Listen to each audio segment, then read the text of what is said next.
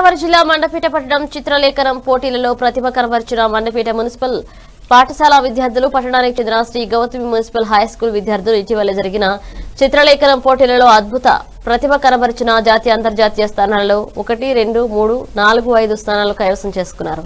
ఈ నేపథ్యంలో ముంబై ప్రాథమిక కేంద్రంగా గల కంగారు సంస్థ మరియు హైదరాబాద్కు చెందిన యంగ్ ఇన్వాయిస్ సంస్థలు ఆన్లైన్ ద్వారా జాతీయ అంతర్జాతీయ స్థాయిలో నిర్వహించిన ఈ పోటీలలో సుమారు ముప్పై రెండు మంది విద్యార్థులు స్వర్ణ పథకాన్ని చేజిక్కించుకున్నారు.